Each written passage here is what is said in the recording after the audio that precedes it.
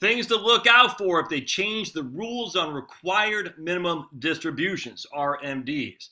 Uh, Mary sent me this email today, and uh, I thought this is actually profound, incredibly well uh, well uh, thought of, and I uh, had it, it totally escaped my my own thinking on the increasing uh, RMDs. My own thinking had been, well, if they increase RMDs, are they actually going to change the tables? I mean, they might say you don't have to take an RMD at 70, uh, but you're going to have to take it at 75 instead. Instead of being an RMD at 70, which is divided by 27.4, they might still say your RMD at 75, the divisor will be 22.9. So while you get another five years of tax deferral, uh, the distribution period, i.e., the divisor, won't change. I, I, don't know that, but I could easily see that. So you have a larger and larger and larger RMD, uh, which means more and more tax to the federal government, which puts more and more taxpayers in higher tax brackets.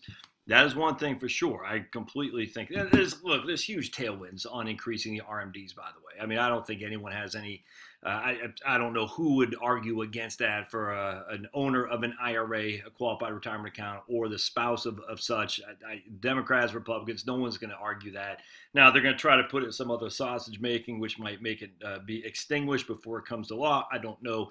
I could easily see rules changing on RMDs. And I can also see rules changing on stretch IRAs for non spousal beneficiaries. I, I would be, I, I'm not a gambler, but I'd be willing to bet uh, 70 30 odds that within the next five, six years, uh, there will be no longer stretch IRAs uh, for Roth or uh, traditional IRAs. I, I, could easily see that happening.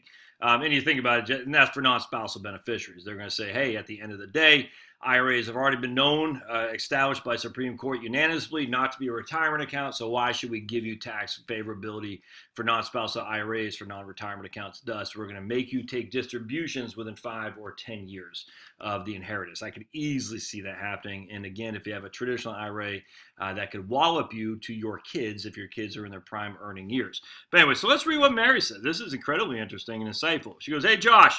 had an aha moment when running scenarios through my mind. Uh, being an odd sort of person, Mary, uh, she likes to go to uh, Las Vegas and gamble, or not gamble, but uh, play poker. very interesting lady, actually, uh, Mary. Um, she also uh, very big in sports and uh, and her dad took her to the racetracks when she was young. So I thought uh, that was pretty interesting, actually. Uh, so an odds sort of person. I don't know. I say a card counter, but certainly someone who knows their way around a, a poker table for sure. Uh, I would put the odds that they're going to extend the RMD age at around 80%. I completely agree with that.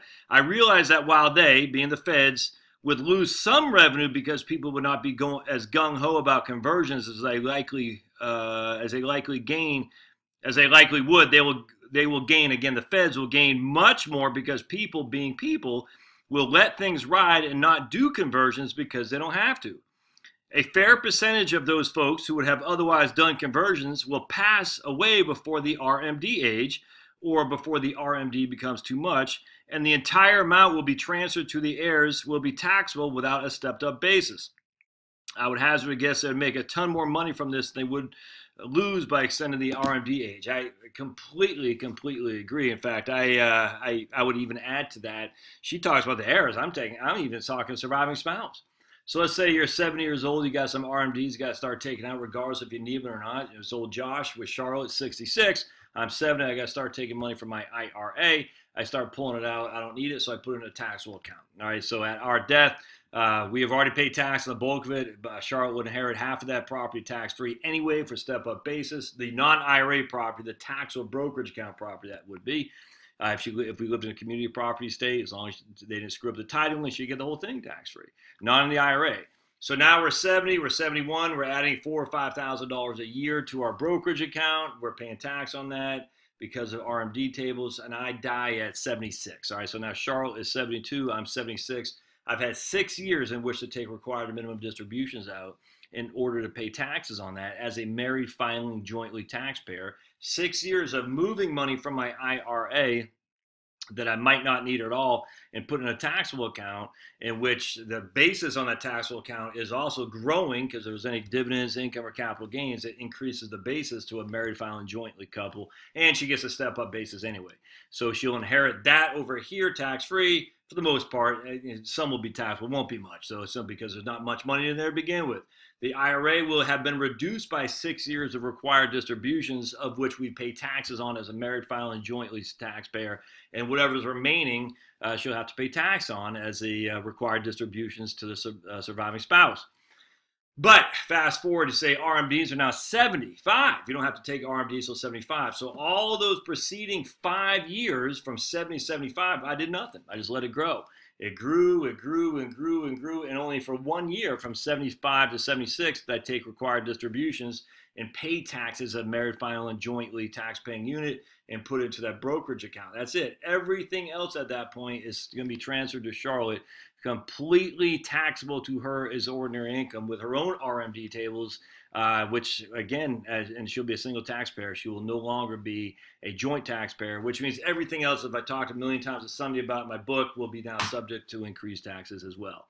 And now, on the other hand, if she were to leave a significant brokerage account at her death, she's a surviving spouse to the kids, they would receive that with a step up basis completely tax free.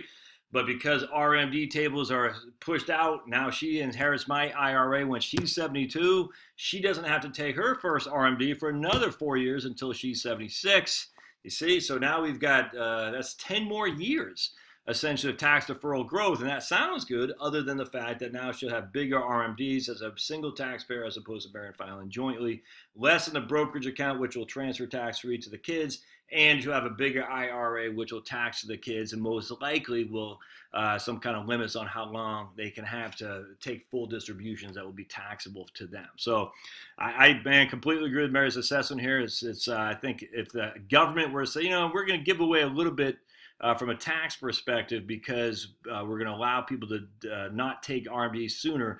We're going to make it you know, freaking three dollars a one later on down the road. I could easily see that. So, good email, Mary. Uh, just be careful. More reasons to start the Roth conversion sooner rather than later. All right, we'll see you next time.